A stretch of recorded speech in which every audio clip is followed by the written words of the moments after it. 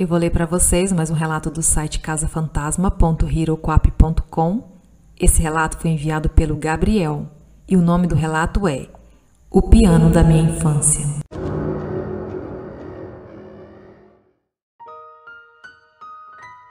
Eu moro em Guarapari, no Espírito Santo.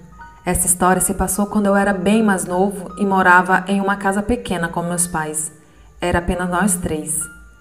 Quando você entrava na casa e virava para a esquerda, você entrava na sala, onde tinha um piano que me fascinava. Aquilo me atraía, me chamava. Quando eu tinha quatro anos, a minha mãe finalmente arranjou um livro de piano para iniciantes, com músicas bem simples. Foi quando os sonhos começaram. Eu o chamo de sonho porque não sei o que chamar. Transe? Talvez.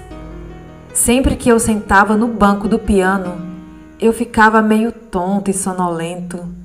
O piano começava a tocar sozinho. As melodias, as mais lindas melodias, mórbidas e cheias de emoção que eu já tinha ouvido.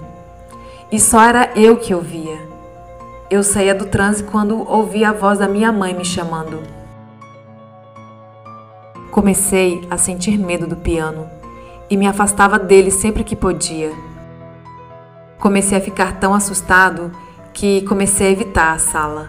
E sempre que eu tinha que entrar nela por algum motivo, eu ficava observando o piano com os olhos arregalados.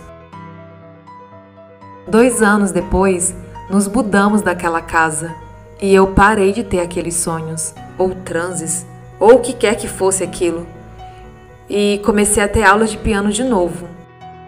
Eu não sei o que causava aquelas sensações e eu nunca cheguei a ficar naquele estado de novo.